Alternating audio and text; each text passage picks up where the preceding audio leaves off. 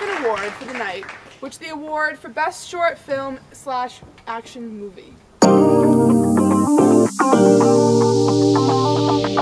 Hi guys, here are the nominations for the best short film and or action movie. The Watchtower,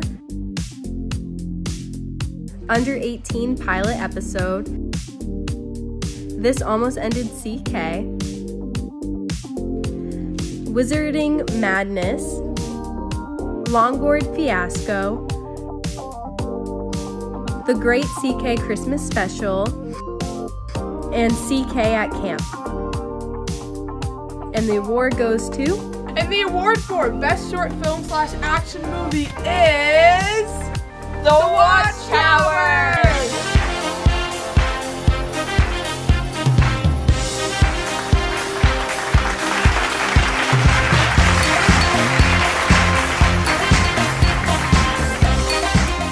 you to all the fans that voted.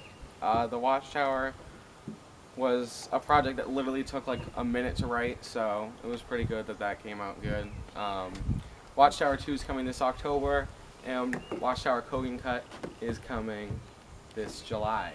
June, actually. So, it is June, I just checked. It's a month from now when you're watching this, so that's pretty cool. Um, thank you so much to everyone. And yeah, thanks to Erin and Lily for hosting. I'll, I'll hopefully I'll be back up soon. Would you stand in front of opponent when you hear it go